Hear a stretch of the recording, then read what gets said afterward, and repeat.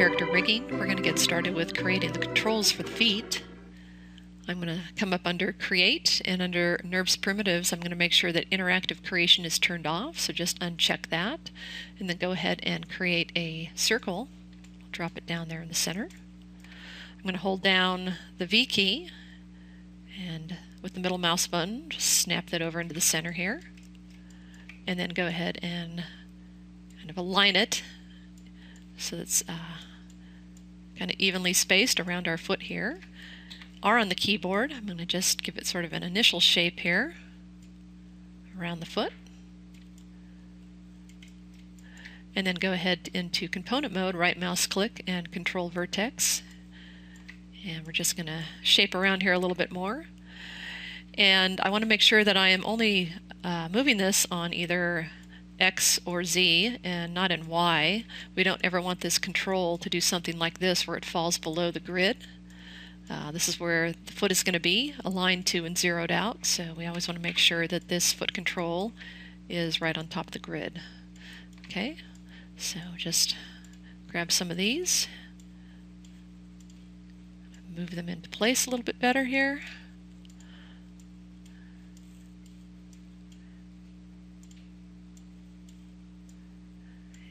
Something about like that.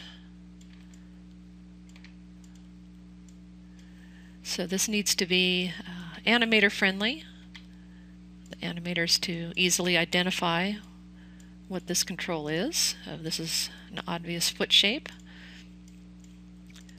And uh, just accessing it very easily as well. Alright, so that looks good. Back to object mode with that. So we need to move the pivot point right now. If I were to parent this to the heel here, I'll just show you an example, and then we went and tried to move this around, we could see that it's causing some other rotations up here that maybe we don't necessarily want, right there on the knee. So our pivot point really needs to be moved back here to the ankle so it doesn't cause that rotation. So I'm just going to undo what I did there. And let's hit insert on the keyboard. It's home if you're on a Macintosh. I'm going to hold down the V key and I'm just going to snap this up here to the ankle. So I've got it centered on that ankle joint now. Hit insert again to get out of that.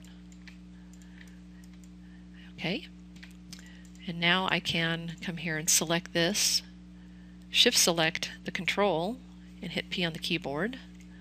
And now if I select this, it's actually going to rotate and move correctly. Okay, this is what we're after here. Okay, uh, I'm just going to undo that for right now. We're going to copy it over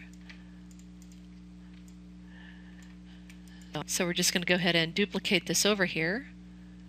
I'm going to come under Edit, Duplicate Special, and under Edit, just go ahead and reset the settings, and then under Scale X, I'm going to hit negative 1, hit Duplicate Special. That's just basically reversing it. I'm going to drag it over here, and again we need to align this pivot point into the center of the ankle joint. So I'm going to hold down the V key, and middle mouse and snap that into place. Okay. So we've got some uh, transform information over here that we want to get rid of. So I'm just going to modify freeze transforms and I'm also going to delete the history on it. Delete by type history. Do the same thing over here. Freeze transforms and delete the history on it. Okay, so now we can go ahead and parent these. So I'm going to select the, the heel right here of the reverse foot roll, shift select control and hit P on the keyboard. Parents that. Repeat the process over here. Parent that side. Okay, so now our control is in there properly. Let's go ahead and kind of identify these as left and right by color coding them. So I'm going to select this and under Attributes, I'm going to come under Object Display, and drawing overrides.